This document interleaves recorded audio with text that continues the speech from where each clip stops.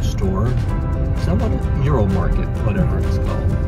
And they have a good selection of foods or food items that you would normally only be able to purchase on the continent. But uh, we're lucky enough to have one in Huntsville. So we're going to go over there and see what, probably get some uh, sausage of some sort. This is pretty good. And the owners are Ukrainians, so see how that fares here today. Of course, you know, it's cheaper to get sausages. Aldi.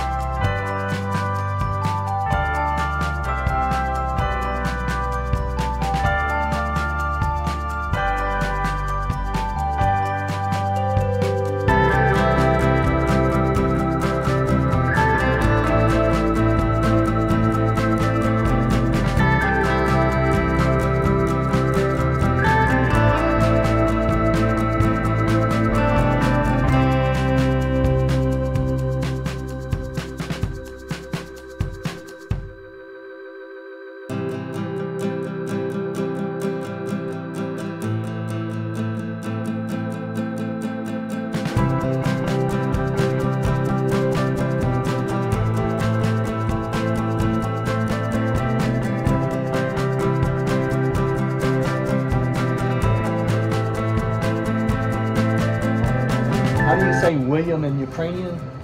Or that's that it would be. Uh, it would still be. It would still be um, Cyrillic, wouldn't it? Or what do you call it? I have no idea William? Okay. I'm sure there is a translation to it. People came up with it. Just Well, just don't call me stupid. Oh no. How do you say stupid? Durmei. Say it again. Durmei. Dude. Durmei. Oh, I can't. I can't do my Durmei. R's like if that. it's, If it's specific to the person, it He's, be. he thinks she's pointing at you. no, pointing to the. Uh, it says dur. It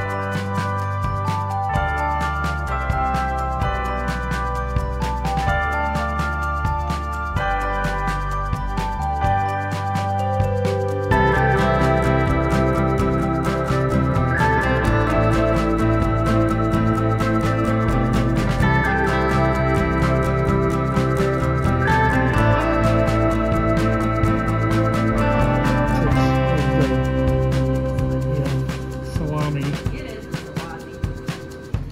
it's a good one. It's a еврейская.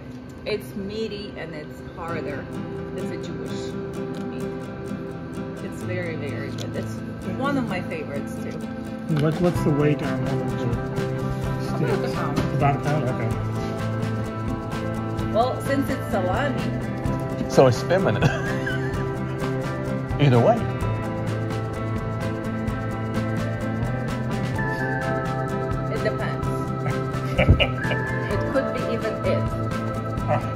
really?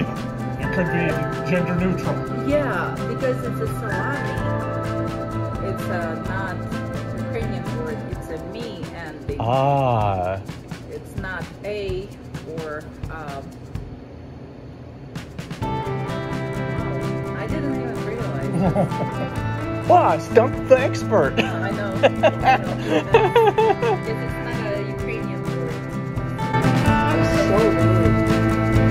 your.